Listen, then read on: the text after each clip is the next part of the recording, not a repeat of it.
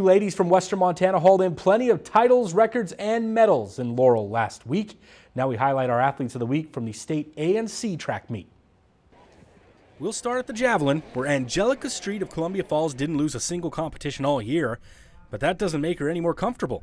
I definitely get super nervous. I don't know why, but I get super anxious and all that before I even throw.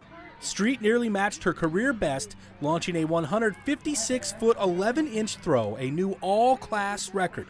No Montana girl has ever tossed a javelin that far in a state competition, and she's only a junior.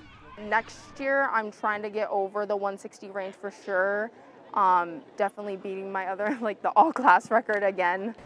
Polson distance star Bea Frissell ended her high school career just how she planned. The two time cross country champ won the 1600 and 3200 for a second time each, setting a new Class A record by nine seconds in the longest race. Something she didn't think was possible because of who held the previous mark. Back my sophomore year, it was like Pippi Idol was a goddess, right? It was like there was no way. Um, but yeah, I mean, I even went up to the line and was like, I don't know if I can do this. Um, and I had a lot of doubts running through my mind, but I'm incredibly happy that I got it done. One Corvallis senior topped the podium, a place she has grown used to. Calla Halderson won the discus by 17 feet, becoming the first Montana girl to ever win four state titles in the event.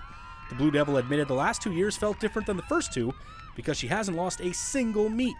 The competition has, yeah. Um, the first two years I had a Brooklyn Palin from Corvallis. She was pushing me. She, we're always together. It's been a difficult year for that, but I'm glad I've made it. Both girls' team titles in Laurel also came back to the West. Whitefish won the Class A crown for the first time in 25 years, thanks to wins in both relays. Seeley Swan also won the long relay on their way to a State C championship, beating second place by over 42 points. McKenna Ells also helped Whitefish with a girls 400 meters title. Hamilton's Brindley Polson won the 800 to join Halderson Street and Frissell as State A champs. Four different Seeley Swan girls won individual Class C events. Claire Kovach, Autumn Morse, Tara Birch, and Soraya Mon. Charlo's Carly Freiberger won both the 100 dash and 100 hurdles. Darby's Casey Eamon crossed the line first in the 300 hurdles. On the boys' podium, we find another Whitefish Bulldog, Lee Walbert, in the 300 hurdles, another Hamilton Bronc, Michael Graves in the javelin, and another Charlotte Viking, Wills de Grand Prix in the 1600. Valley Christian's Ben Twinstra repeated as 110 hurdles champ, and Drummond's Jonah Park won the high jump. We'll be back after